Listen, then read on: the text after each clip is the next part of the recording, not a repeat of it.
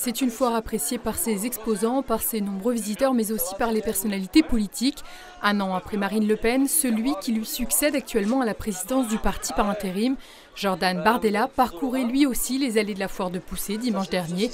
À 15 jours du congrès du Rassemblement national et l'élection de son président, le député européen dit être serein quant à sa victoire face à Louis Alliot. Je ne viens pas ici avec euh, l'objectif euh, de, faire voter nos, militants. Ça, je l'ai fait dans le cadre de tous les meetings qu'on fait. Euh. C'est la, troisième foire agricole de France. C'est l'une des plus vieilles foires agricoles.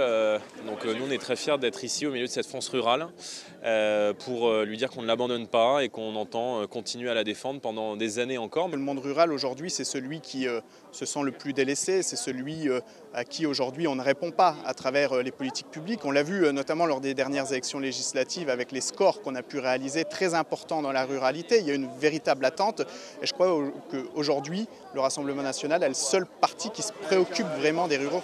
Un attachement au monde rural et une proximité avec la population que Jordan Bardella a voulu démontrer en allant au contact des exposants et en se laissant aller au jeu des selfies.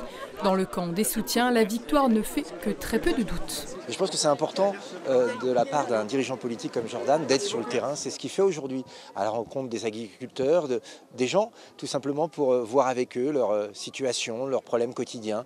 on a aujourd'hui un gouvernement hors sol, que notre futur président, en tout cas je l'espère, Jordan Bardella, soit un homme de terrain. Je crois que c'est rassurant. Les deux candidats à la présidence du parti disent être sur la même longueur d'onde que Marine Le Pen.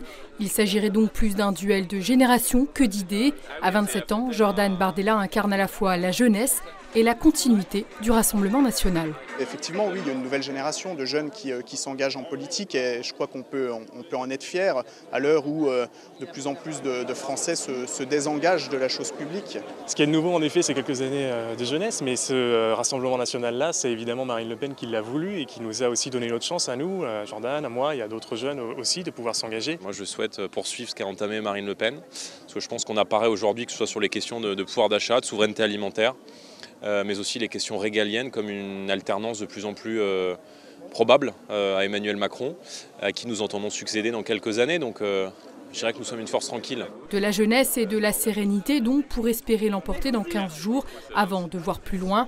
Les adhérents du parti, 370 dans les Vosges et nombreux à la foire de Poussée, ont jusqu'au 3 novembre pour choisir leurs représentants.